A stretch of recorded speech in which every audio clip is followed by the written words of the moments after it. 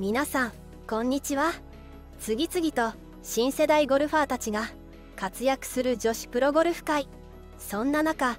女子ゴルフ界のリアルバービーとして注目を集めている韓国人ゴルファーをご存知でしょうか？それはパク・キョル選手です。今回はパク・キョル選手がどんな選手なのか深掘りしていきたいと思います。では早速2016年から5年連続で韓国女子ゴルフ界の顔でもある。広報モデルに選出されるほど韓国ゴルフ界のバービー人形と称され韓国での人気は凄まじいパク・キョル選手。2023年7月20日の自身のインスタグラムで日傘を差しながら満面の笑みでこちらに視線を送る1枚を公開。これを見たファンからは見るだけで幸せかわいい頑張って。などといった絶賛する声が続々と寄せられています。1996年1月9日生まれ韓国全羅南道スンチョン市出身で身長 167cm 体重 63kg です。パク・キョル選手がゴルフを始めたきっかけは父が運営するスポーツセンターのコーチの勧めでした。2014年に韓国女子プロゴルフ協会に加入しプロデビュー。同年9月に開かれたインチョンアジア大会で韓国代表選手として出場し女子個人戦で金メダル。団体戦では銀メダルを獲得と輝かしい功績を残し一気に注目を集めました。翌2015年からは本格的にツアーに参加するようになり5月に開催された 2015NH 投資証券レディースチャンピオンシップでは12ラウンド合計4アンダーで4位タイ。ファイナルラウンドでは準優勝で大会を終えています。2ヶ月後の7月に行われた。第16回ハイト人路チャンピオンシップでは1ラウンドを5位タイでスタートし3ラウンドで4位タイ。ファイナルラウンドでは2位タイまで順位を上げる実力を見せつけました。その年12月に開かれた。2016シーズン開幕戦では最終5位を記録。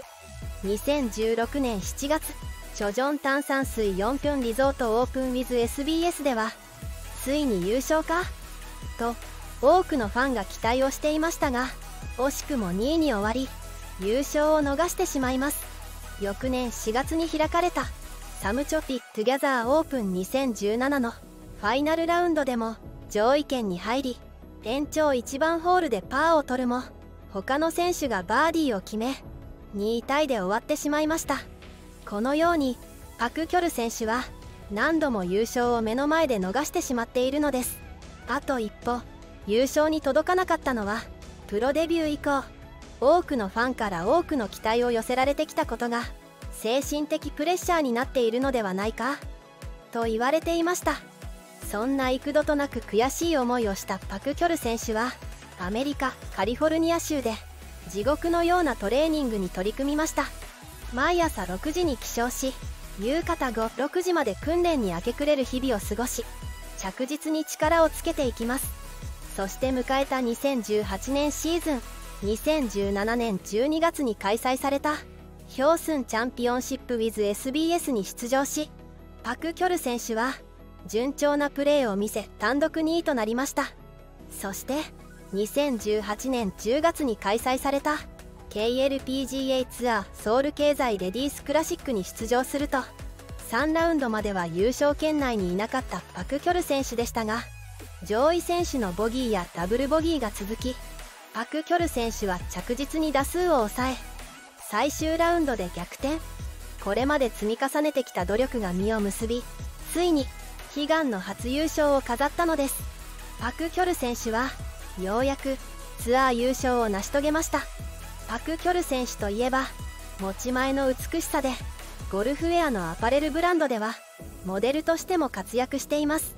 167センチという高身長に加え韓国アイドルと言ってもおかしくない透明感と端正な要望は多くのファンを虜にしているようです。しかしその後ゴルフでは不調が続き5年勤めた広報大使から外され2021年シーズンはプロ入り後最悪のシーズンを過ごしました。出場28試合でトップ10入りは1回賞金ランキング69位でシード落ちしているのです。しかし2023年シーズンはシード落ちから1年で復帰し3年ぶりに KLPGA 広報モデルにも選出されただけでなくメインスポンサーとなるデュサンウィーブゴルフ団の創設メンバーとなったほかクラブとウェアまで契約を新たに結んでいます。ちなみにデュサンウィーブゴルフ団とは韓国では大々的に報道されましたが要するにデュサン建設の所属選手のことです。メンバーは日本の予選会にも挑戦した。アン・シネの再来と称される。ユ・ヒョンジュ選手を筆頭に韓国ツアー通算5勝のイム・ヒジョン選手。2022年ツアー初優勝を果たしたユ・ヒョジュ選手。身長177センチで平均飛距離260ヤードを飛ばす。韓国ナショナルチームのアマチュアの高校2年生のキム・ミンソルさん。そしてシード復帰を果たしたばかりの韓国女子ゴルフ界のバービー人形のパク・キョル選手の5人です。これまで以上に注目を集めているパク・キョル選手ですが2022年には思わぬ不倫騒動に巻き込まれました。韓国トップスターとの不倫相手として名指しで報道されたのです。この時トップスターの名前は公表されていませんが歌手のレインさんではないかとの声が上がりました。実はパク・キョル選手はレインさんの妻で韓国で最も美しい女優ともされるキム・テヒに似ていると注目されたこともあります。このこともあってか今回の騒動に巻き込まれてしまったようです。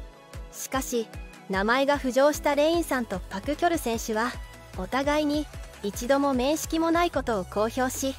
不倫説はデマとして認識され一段落となったようです。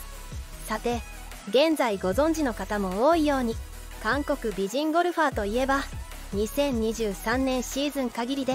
日本ツアーの現役を引退することを発表したイ・ボミ選手やセクシークイーンの異名を持つアン・シネ選手ですね。イ・ボミ選手は1988年8月21日生まれで2007年にプロ転向し2010年には韓国ツアーで賞金女王となりました。翌2011年からは日本ツアーに参戦し2012年横浜タイヤ PRGR レディースで初優勝。2013年に2勝。2014年は3勝と勝利を積み重ね2015年には年間7勝を挙げて当時ツアー史上最高賞金額の2億3049万7057円を稼ぎ賞金女王に輝いた選手です。さらに翌2016年も5勝してなんと2年連続でトップの座を射止めています。そしてアンシネ選手は韓国での愛称スマイルキャンディーの名を持ち愛らしい笑顔でファンを魅了し女子ゴルフ界を牽引してきました。2017年キャットレディースで通算21勝目を挙げたがその後はショットの不振に陥り2018年には日本ツアー参戦から保持してきたシードを喪失しています。この2人の選手は日本で人気の韓国人ゴルファーですがアン・シネ選手はセクシーな服とスタイルで人気を浴びイ・ボミ選手は愛嬌のあるスマイルが持ち味ですね。大きな話題を集めたのはアン・シネ選手の方でしたがファンからの人気は圧倒的にイ・ボミ選手と言われています。これまでパク・キョル選手は日本ツアーへの参戦はありませんが日本ツアーに参戦が期待される選手の一人になっています。2023年は復活の兆しが見え始めているパク・キョル選手。日本に来日する日も遠くはないかもしれませんね。アン・シネ選手やイ・ボミ選手に続く美人ゴルファーとして日本でも人気を集めることになるでしょう。